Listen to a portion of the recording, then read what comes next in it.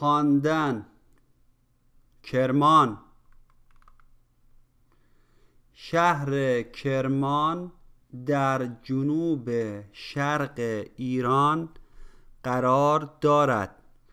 کرمان مرکز استان کرمان است.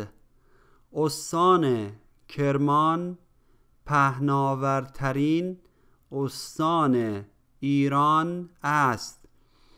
این شهر در گذشته پایتخت ایران بوده است.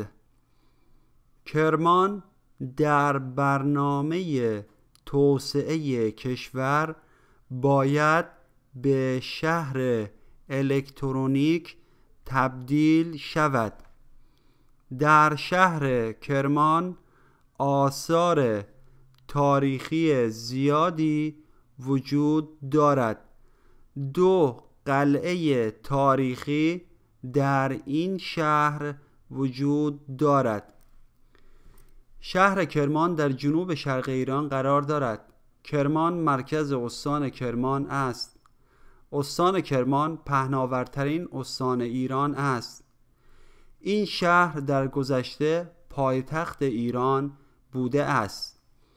کرمان در برنامه توسعه کشور باید به شهر الکترونیک تبدیل شود.